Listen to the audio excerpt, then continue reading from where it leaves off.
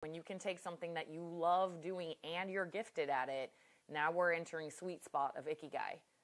Sitting with which aspects of my career do I really like? You know, so when you combine the things that you're really good at and identifying these things, and then really honing in on which aspects do I love. Like it would typically feel like I would do that for free.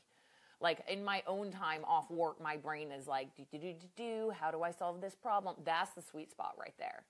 There's other problems you're going to solve, and I put puzzle solving puzzles, right? Those could be um, organizational issues.